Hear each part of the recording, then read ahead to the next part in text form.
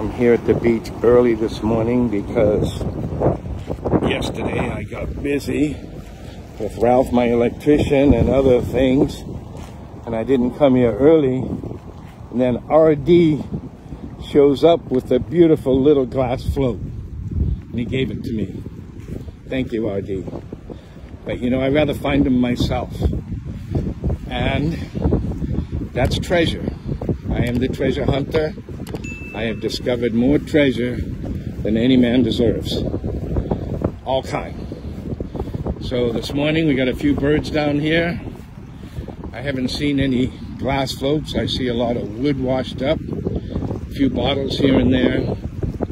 But as we come over here to Emma's Beach, that's where they've been found mostly. I got to get RD to show me where he found his yesterday. Both the same size, the ones that were found the last two days.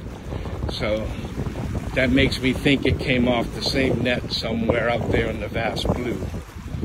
So maybe more little ones will show up, or perhaps maybe a nice big one. Treasure, my game, my fame. Adios.